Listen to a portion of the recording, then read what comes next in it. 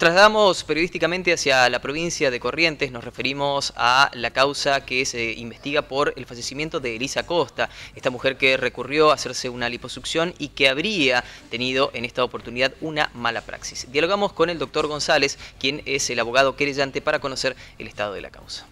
Nosotros hemos llevado adelante, a pedido de esta querella, se han llevado adelante eh, allanamientos a la clínica, secuestro del teléfono del profesional, cuyos resultados ya se encuentran este, en el legajo de investigación fiscal y solo resta, este, porque también ha pedido de esta querella y del señor fiscal, eh, se ha solicitado la historia clínica de la atención que tuvo en el Hospital Vidal.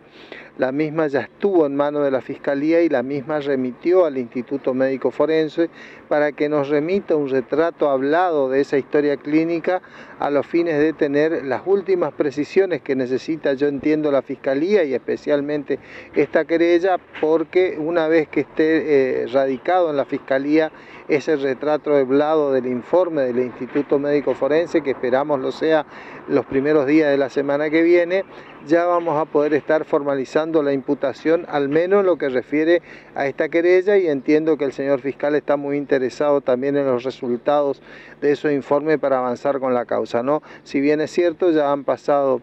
eh, dos meses de aquel hecho trágico, no es menos cierto que en función de la modalidad en la que se, se cometen este tipo de delitos, este, donde el control pleno del, obrar eh, está en cabeza de quienes llevan adelante el hecho, en este caso de quien llevó adelante la mala praxis, eh, y es obvio, y hasta forma parte inclusive del propio derecho de defensa, que no se autoincrimine, la producción probatoria se suele eh, transformar en dificultosa, pero no obstante ello, nosotros estamos advirtiendo gran avance, en este sentido hay que destacar también la labor del doctor